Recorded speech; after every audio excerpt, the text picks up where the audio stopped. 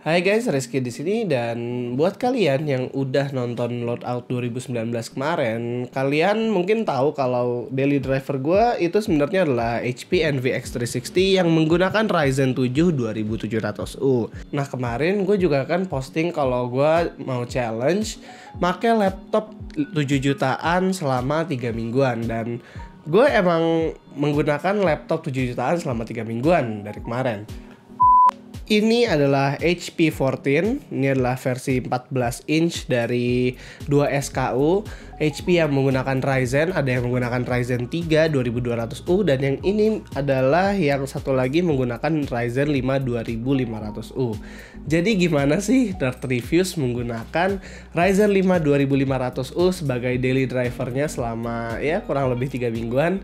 Check this out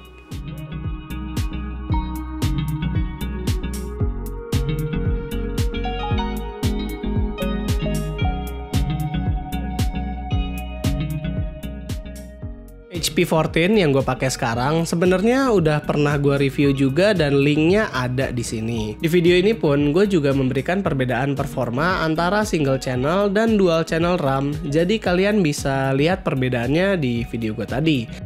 Jadi masuk ke challenge-nya, gue udah make ini laptop tuh sekitar dua mingguan dan ada beberapa plus minusnya pakai laptop AMD murah. Plusnya adalah laptop AMD ini udah memakai SSD sebagai storage utama mereka, walaupun masih SATA. Jadinya buat booting dan lain-lain, gue nggak harus kelamaan. Terus karena gue nggak begitu menggunakan numpad, jadinya ngetik di sini lebih enak karena spacingnya lumayan lebar antara satu key dengan key lainnya. Tapi nggak enaknya keyboard ini kan nggak di diikut sertakan numpad yang gue bilang tadi. Jadi ya mungkin buat yang orang-orang yang mikir itu penting ya jadinya nggak ada dan harus beli numpad eksternal. Dan kalau ada beberapa dari kalian yang nanya kalau laptop AMD itu panas atau enggak, untungnya sih ini udah nggak terlalu panas. Malahan suhunya stabil banget waktu render video Full HD. Cuma ya paling battery life aja yang kurang dari laptop ini.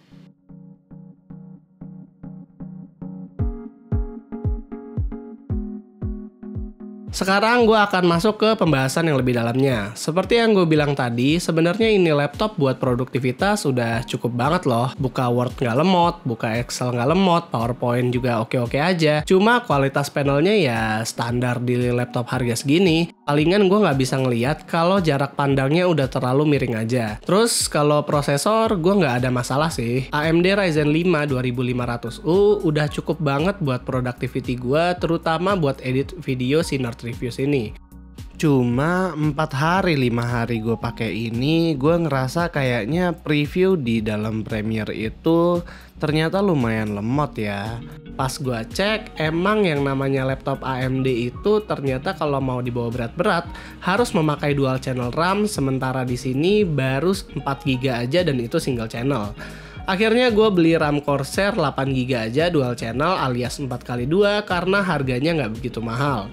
Sayangnya pas gua ngebuka laptop ini ternyata laptopnya agak usaha yang kalau mau ngebukanya.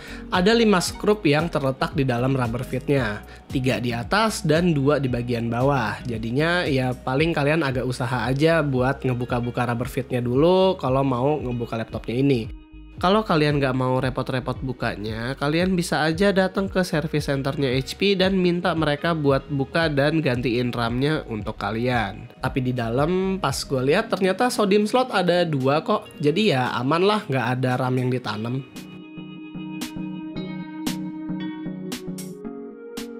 Setelah gue ganti ke dual channel RAM, ternyata akhirnya Premiere Pro itu nggak ada nge-lag sama sekali loh. Semua preview dan dragging and drop itu semuanya lancar jaya dan kayaknya kalau misalnya mau diterusin sebagai daily driver sebenarnya bisa sih. Render video berdurasi 5 menitan beresolusi Full HD yang memakai maksimum render quality Ternyata cuma memakan waktu 8 menit 33 detik buat ngerendernya. Suhunya adem lagi, asli. Pas render ataupun pas lagi ngedit video, gue nggak ada ngerasain panas yang gimana banget di atas ataupun di bagian bawah dari laptopnya ini. Gue kaget ternyata laptop AMD murah sekarang udah sebagus ini ya.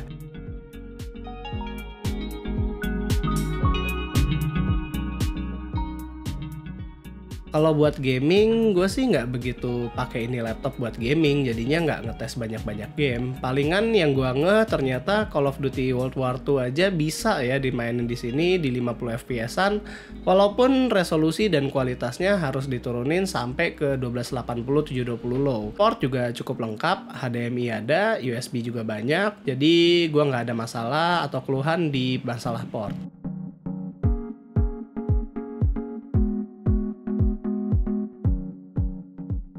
Jadi kesimpulannya dalam tiga minggu ini gue nganggap sebenarnya HP 14 ini udah bisa banget buat jadi daily driver gue terutama buat kegiatan office ataupun ngedit foto sekalipun ngedit video.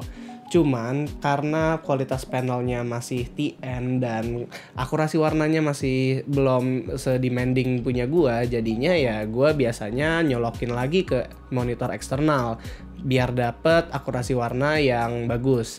Kalau kalian tertarik dengan HP 14 ini, HP dan Nerd akan melakukan giveaway 15 laptop HP 14 dengan Ryzen 3. Challenge-nya gampang banget, kalian cukup posting aja video tentang kegiatan kalian atau produktivitas kalian dan juga kalian ceritakan kalau misalnya kalian mendapatkan HP 14 ini, apa yang akan kalian lakukan dengan laptopnya? Dengan hashtag-hashtag di bawah di deskripsinya ya. Kalau kalian mau tahu tentang lengkapnya kayak apa, kalian bisa cek aja deskripsi di bawah dan juga cek FB-nya HP Indonesia. Terakhir, good luck aja buat kalian yang memang mau melakukan giveaway. And as always, have a nice day.